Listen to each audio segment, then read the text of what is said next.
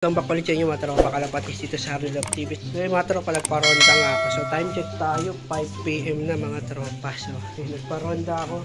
Nilalabas ko yung mga bagong batcher na ibon. Tapos yung dati, checkin natin sila sa labas mga tropa.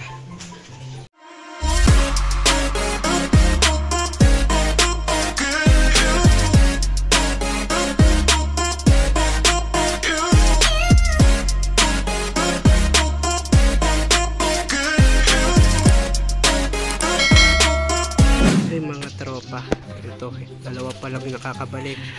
Ayun, pumunta sila dun. So, kulang pa tayo ng apat. So, bali, pito yung pinalabas ko. Tapos yung dalawa nandun. Hindi pa sila lumilipad. Pito yung lumilipad na ibon. Nandun sila yung iba. Yung iba wala pa rito. So, ayun pala, meron dun sa poste. Ayun o, meron sa poste mga tropa isa tapos yung dalawa nandito mga tropa ayan tapos yung iba pabalik na rin yun mga tropa so yung dalawa rito kaya di pa sila nakakalipad di pa kompleto yung pakpak nila so nabunutan ko kasi sila ito yung mga nauna eh so nabunutan ko sila tapos yung mga huli na napapisa ako ayan yung mga yan ito So di ko na binunutan yan. So hinayaan ko na lang sila kung saan sila pupunta. Kung hapon na nga tayo nakapag-vlog kasi may tinapos pa ako mga tropa. Inayos pa ako. Tapos sinabay ko na rin sa pag-ayos yung aquarium ko. So ito na nga yung mga isda ko rito mga tropa. So papasilip ko lang sa inyo yung ginawa ko rito. So ito yung mga alaga kong isda. So yan, ito yung inayos ko.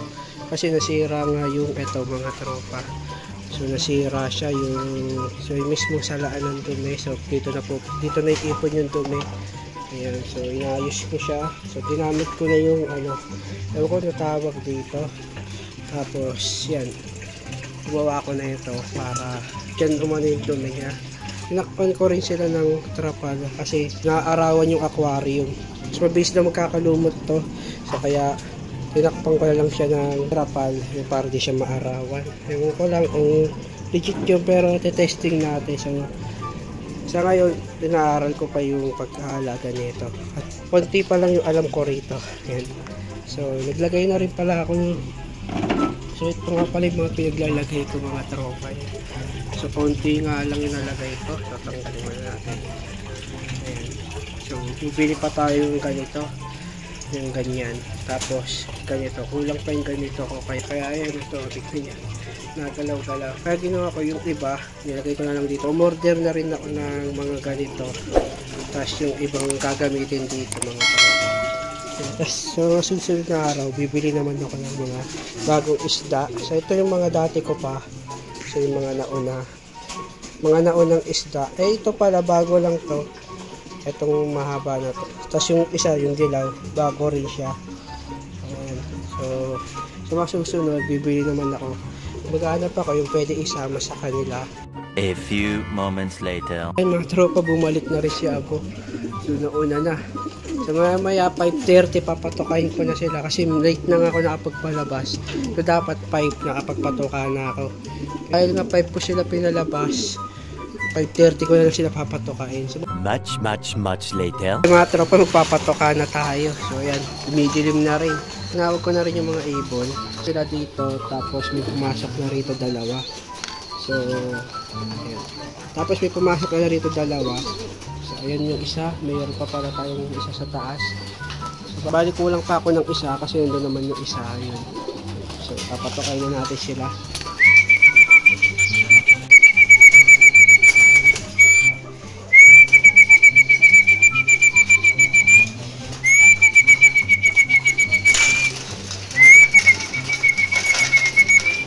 So, yung mga tropa, bumababa na sila. Mga nakaraan, di pa sila masyado sanay eh. So, hindi rin nila alam pag sumisipol ako. So, ngayon, medyo nakakabisado na nila. Pag sumipol ako, ibig sabihin, papatuka na tayo or kakain na sila.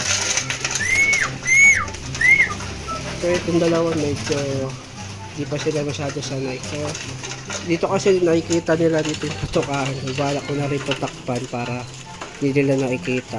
Saka yung iba, minsan pumupunta rito. So, yung iba, ayan, pumupunta dyan. So kaya balak ko na rin takpan. Ayan, para di sila pumunta rito. So papasok lang sila. So ito lang sila sa loob makakatuka.